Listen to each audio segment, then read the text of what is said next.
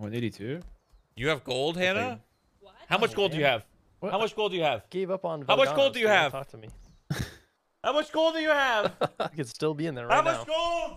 Yeah, dying over and over.